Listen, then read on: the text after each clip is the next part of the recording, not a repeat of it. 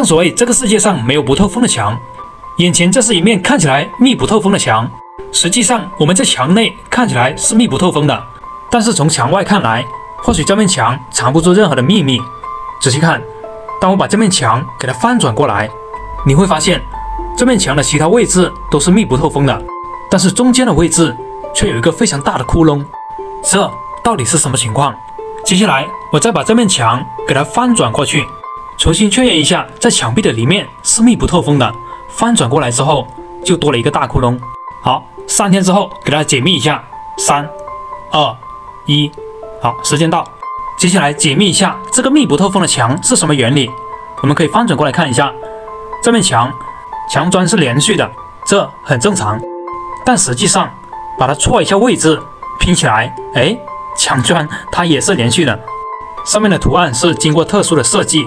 我们翻转过来，这个位置是错乱的，但是再把它错一个位置拼在一起，哎，这个时候上面的图案刚好对好了。这你看明白了吗？